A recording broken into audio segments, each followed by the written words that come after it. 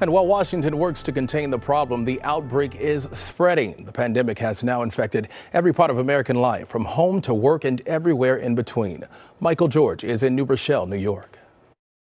Across the country, shoppers emptied grocery store shelves, stocking up on everything from toilet paper to non perishable goods. I knew there was going to be a line, but didn't know there was going to be a line that's go the full city block. Social distancing has become the new normal. Millions of Americans are staying home as schools have closed in at least 14 states. Major sporting events are either canceled or postponed.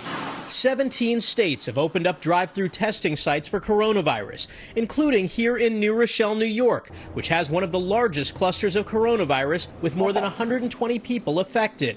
My husband's not feeling well. Um, he's got throat symptoms. He's, you know, achy and tired, and he works in the city. The testing is not where it needs to be, right? The, the main way to slow the spread, we know from all the other countries, is to do the testing, isolate the positives. Healthcare officials say testing delays have made it hard to contain the virus.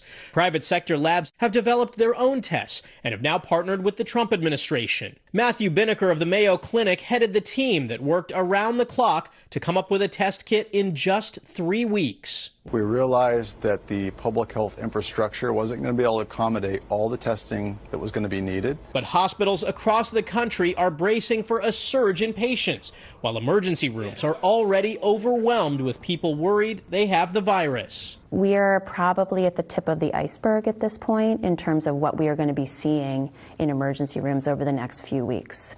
Right now, this drive through testing location in New Rochelle can only test 200 people a day, but officials say they'll soon be able to increase that to 500.